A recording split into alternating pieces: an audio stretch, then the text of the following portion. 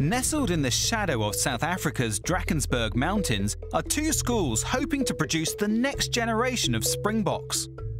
Obviously, Hilton Michaelhouse is the big one. Uh, we play them twice a year, and it's amazing. It's often called our brother school, um, and a lot of the boys are very tight. Um, but they often say you sometimes have the best fights with your brother. You are sitting 20 k's outside of Pietermaritzburg in the Midlands of, of KZN. And Hilton College was established 140 odd years ago, and it's a purely boarding school. We have nearly 500 pupils, all of them full-time boarders, and sadly very high fee paying.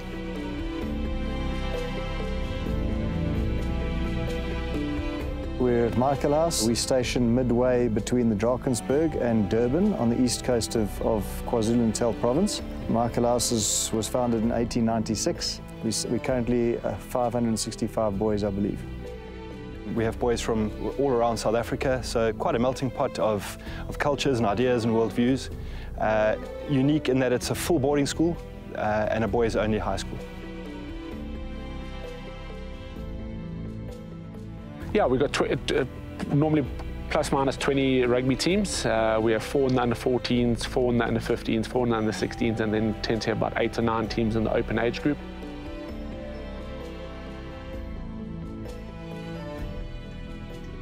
Um, Hilton have got a couple of fairly famous old boys who've all worn the national jersey. And the ones who spring to mind are people like Gary Teichmann, who went on to captain the Springboks, Hentie Martens, who obviously played scrum half for the Springboks, and Wayne Fyvie, who played flank for the Springboks. Bobby Skinstad also captained the Springboks. They are all sort of in the, in the last generation. So we currently have four Springboks uh, as old boys. Um, we waited over 100 years for our first Springbok, who's uh, Pat Cilliers, who's uh, currently placed in, um, in at London Irish. Uh, Pat Lambie, uh, Springbok fly half, is now at Racing Metro. And our last two Springboks are Ross Cronje and Ruan Combrinck, who are both based at the Lions up in Johannesburg. I'll tell you, the week leading up to the Hilton Michaelhouse is like no other week at Michaelhouse. You'll see the vibe is different. You can almost feel it in the air. There's something big is coming.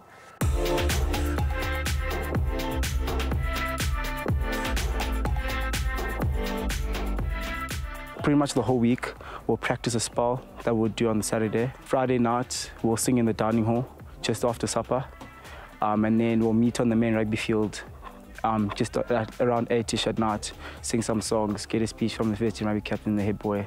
Spell means if you're looking at the crowd from the other side, they will spell out words like Hilton and Michaelhouse, etc. Um, I've been at Michaelhouse for five years, and I decided that I wanted to be the spirit leader roundabout last year. For myself, I think uh, I'm not really a person who is willing to stand in front of so many people, but I thought to myself, to make myself a better person, I can go and take that challenge.